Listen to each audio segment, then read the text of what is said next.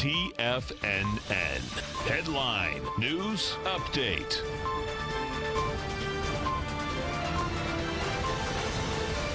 Morning, folks. We have the uh, Dow Industrials down 87, Nasdaq off 111, S&P's down 17 and a half. Gold contract, gold contract up 90 cents, trading at 12.76 an ounce. We have silver up 2 cents, $14.41 an ounce. Light sweet crude, flat, $62.93 a barrel. Notes and bonds, uh, they're also flat. You get the 10-year note trading 124.16.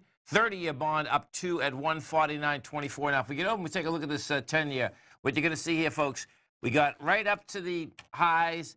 You start contracting with volume. Uh, today, what we're doing out here, we back down slightly.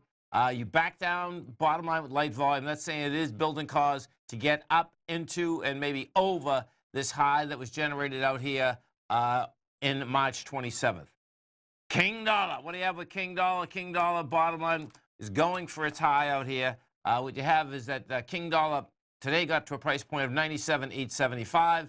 Uh, that high is 98,085. Now, what King Dollar did do is that as it was going higher, bottom line, contracting with volume in a huge way. If we get over to the um, gold con complex, what you're seeing with the gold out here, gold rejected lower price today at 1273. You're at 1277. We go over to the S&Ps. Now, check out the S&Ps. My take is that the S&Ps are a complex ABC structure on the way down. That being said, we hit a low out here today of uh, 2833. I expect what you're going to see out here, we're going to keep making our way back into just about positive territory out here today because what you have, if we go look at Shanghai, what you're going to see over in Asia, bottom line, that thing came back pretty good. Uh, Europe hasn't come back yet, but what I do expect we're going to see is this thing's going to try to claw its way back.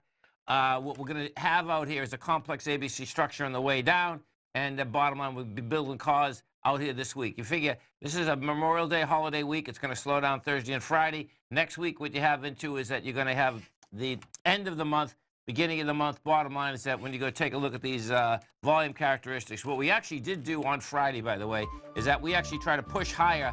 You did have an expansion of volume, but didn't hold price. That's saying it's going to be right back up into those highs.